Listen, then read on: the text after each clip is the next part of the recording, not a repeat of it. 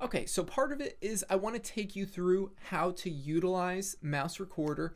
And again, it's free tool. It's so awesome. You just got to learn how to use it and it can become a great tool in your toolbox.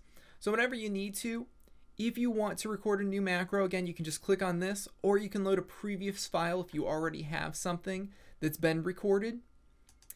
If you want to go in and create any uh, what I call hotkeys, um, then you're just going to go right here into the settings, help settings, hotkeys. And from here, if you press control window A, or I'm sorry, shift window A, that's going to start or stop your recording. If you press shift S, it's going to start a new one. Shift D, that's going to play it. So I'm just going to go ahead and record a new macro here. And I want you to see that as I move off here,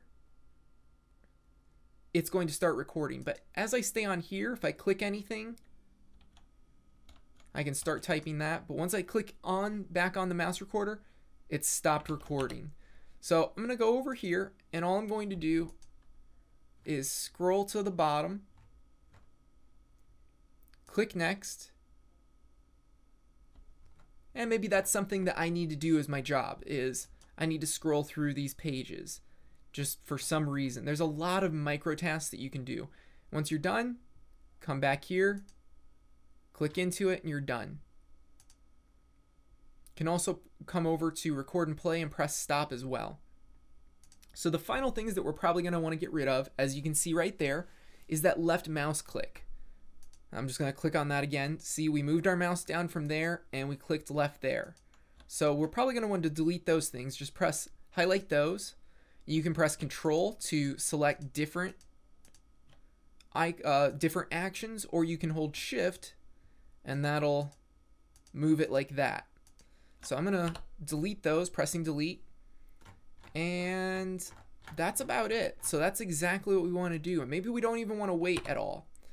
And we want this speed to go 5x. So now I'm going to play this out again.